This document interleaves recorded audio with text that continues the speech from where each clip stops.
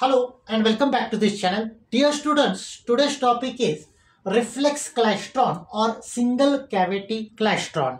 In the earlier video, we have studied two cavity klystron amplifier. In that case, two cavities were used, input cavity or buncher cavity and output cavity or catcher cavity and different bunches were formed.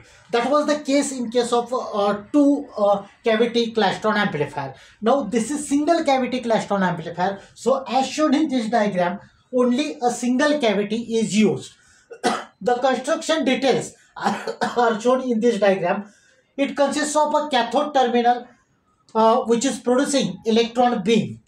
now the focusing electrodes which are used to focus the electron beam towards the output side this part is called repeller anode. Actually it is the anode which causes uh, or which uh, causes returning of the electrons back to the cavity. So it is repeller anode.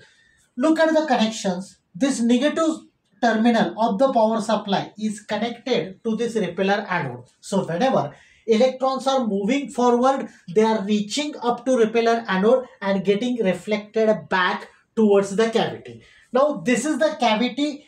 This part indicates the gap of the cavity.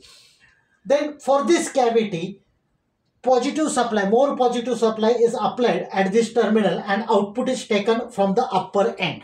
Suppose uh, certain electrons are passing whenever there is no cavity gap voltage then there won't be any change in the speed or in the motion of such electrons whenever the cavity voltage is zero in that case, electrons will reach at the repeller anode.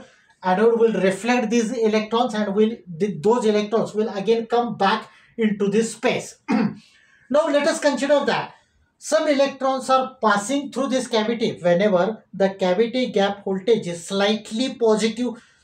Since the gap voltage is slightly positive, certain kind of acceleration will be provided to these electrons then again these electrons will reach up to the repeller anode and will be reflected back. Do remember whenever the electrons are entering uh, in the cavity and cavity gap is slightly positive acceleration will be provided. Another case if the electrons are entering into the cavity whenever the cavity gap voltage is negative in that case very less acceleration rather retardation will be provided to such electrons again such electrons will get repelled back from the anode. The point is that some electrons are moving with more speed whereas some electrons are moving with less speed. Some electrons are accelerated while some electrons are retarded due to the difference in the voltage applied at the uh, cavity because of which like this is very much similar to the two cavity klystron because of the difference in the speed of moving electrons different bunches are created. Now the electrons which are getting accelerated that means the electrons which are entering whenever the cavity gap is positive those electrons are getting accelerated. These accelerated electrons takes energy from the cavity whereas some electrons are entering into the cavity. Whenever the cavity gap voltage is negative they are getting retarded. So that takes the energy from the cavity. So always this give and take action of energy uh, from the cavity is maintained which produces sustained oscillations in the cavity and the output is generated from this point. So make it more simple again due to difference in the speed uh, i mean uh, some electrons are accelerated some electrons uh, speed is reduced because of which the different bunches of electrons are formed and all these bunches are taken out. I mean the amplified signal is taken out from this end. So this is about the construction and working of reflex klystron next is we'll discuss different modes in case of reflex klystron there is one term which is called round trip transit time.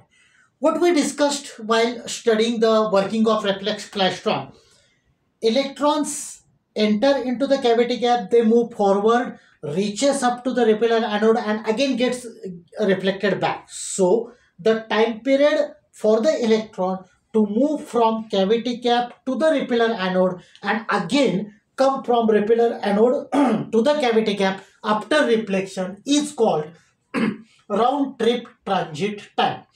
Now this round trip transit time depends on the cavity voltage and the repeller voltage that you are applying at the repeller anode.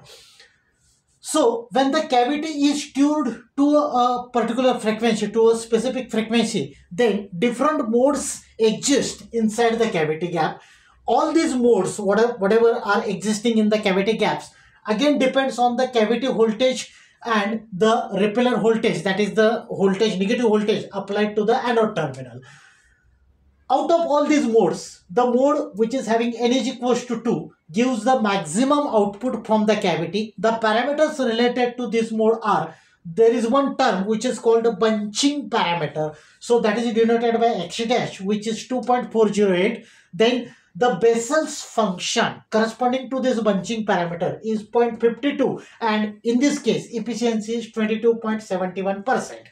Now applications of the reflex klystron Reflex klystron are used in the laboratories for the measurement of microwave signals, that is microwave measurements. Then they can be used as a local oscillator in microwave receivers.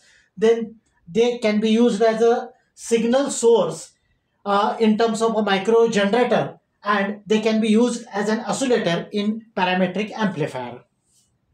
Now let us solve one numerical based on this reflex klystron.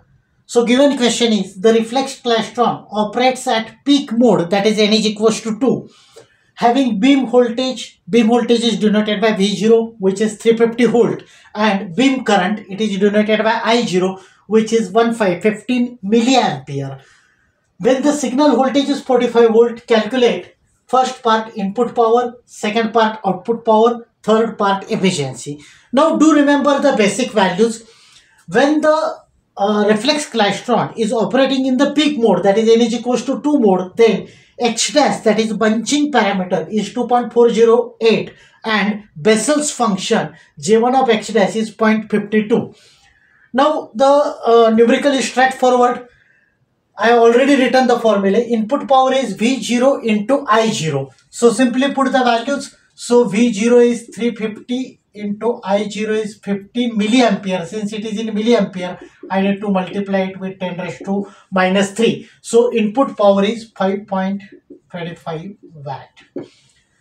This is the formula to calculate the corresponding output power. Equation is 2V0I0 x dash J1 of x dash divided by 2 pi n minus pi by 2. So put the values 2 into V0 is 350 into I0, I0 is 15 milliampere. So 15 into 10 raised to minus 3 into, this is x dash, x dash is 2.408, 2.408 into J1 of x dash that is 0.52. so it is 0.52 divided by 2 pi n, value of n is 2. So 2 pi into 2 minus pi by 2. So if you solve this on the calculator, then this answer of output power is 1.196 watt. Now the third part, efficiency. It is simple ratio of output to the input power and it should be expressed in percentage. So multiplied by 100. So this gives me efficiency eta is output power that is 1.196 1.196 upon input power that is 5.25 5.25 into 100 so efficiency is equals to 22.78 percent. 22.78 percent. So as far as these numericals are concerned these are pretty simple. You just have to uh, memorize the formula limited formula are there. So dear students that's it for uh, today's session. So thank you. Thanks a lot for watching this video